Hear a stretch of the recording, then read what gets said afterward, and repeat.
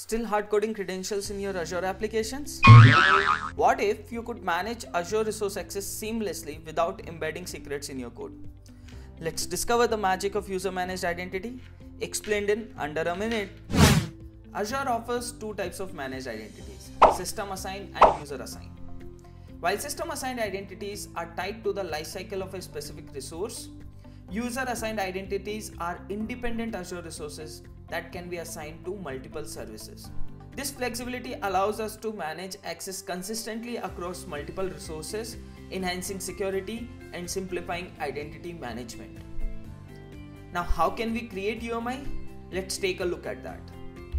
Open Azure portal and search for Manage Identity. Click on Create, provide subscription, resource group, and name you want for UMI, and click Review and Create. Once the resource is created, let's go back to the function app which we created in last demo. Scroll to Identity tab and this time let's choose on User Managed Identity.